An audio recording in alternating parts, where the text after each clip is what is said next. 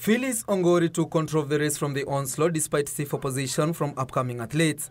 After the 20 kilometer mark, it was certain the former World Half Marathon silver medalist would carry the day, crossing the finishing line in 1 hour 16 minutes 05 seconds. Joy Kemuma came in second after clocking 1 hour 16 minutes 06 seconds, while Teresia Omosa settled for that position.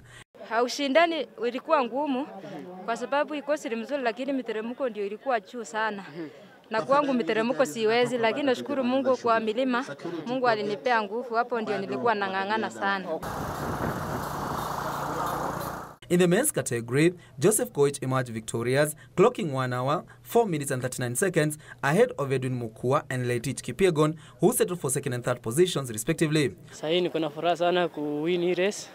Eh, nilikuwa nimejiandaa hapo awali, tungekimbia tarehe ilikuwa tarehe kumi lakini juu ya election waka postpone, lakini sasa tulikuwa tumejiandaa tumejiandaa sana, lakini nashukuru Mungu kwa uwezo wake ambao ametulinda tangu tulipoanza hadi sasa tumemaliza tukiwa salama salamini. Winners in both categories walked away with 100,000 shillings, while the runners-up pocketed 70,000 shillings. Over 300 athletes took part in the race, which was flagged off from the Gusii Stadium.